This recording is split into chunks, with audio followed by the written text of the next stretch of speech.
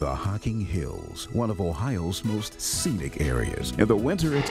Stop what you're doing for a minute and take a look at your carpeting. Dirty? Lost that like new look? Tales of Smooth Jazz Sunday Brunch at the Polaris Grill. In high school, I'm talking to one of my teachers, and a teacher grading papers was a big radio person, Dick Calloway, in the tri state area, called me over and said, Man, you should be on the radio, have that voice. I thought he was joking and uh, took him up on it, and everything started in high school. People didn't know a child was still talking to him. I was doing news for seven years. They thought I was grown. And I was still a little teeny bopper. And then I became a DJ later. Altogether, I was on the air for 35 years. I did voiceovers and characters and things like that after a while, emceeing events, a lot of that. And so it ran the gamut. It was good. I was uh, at one of a few places that had uh, mold issues, mildew, and things like that. It cut my career short because I'd get calls for jobs. Hey, man, we need you to MC this or lay your voice down. But they'd hear me and go, Do you have a cold? Because my voice was like this for years, just a raspy whisper. And it just worsened and uh, got to the point I had to, had to retire. And the doctors didn't know if it would come back, you know. A friend that I knew 20 years plus moved uh, into to where we are now and uh, had me come and see the place, fill out an application. The rest is history.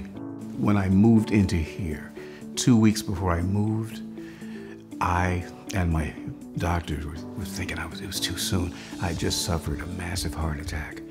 I was quite ill when I moved in in uh, October of uh, 2020. And by April, I started sounding like me again. Once the voice cleared up and my lungs cleared up, then I began to do my walking regimen on a regular basis. I do ex- have an exercise bike, and it, it just opened up more activities for me that were, you know, sidelined. Homeport's been a blessing.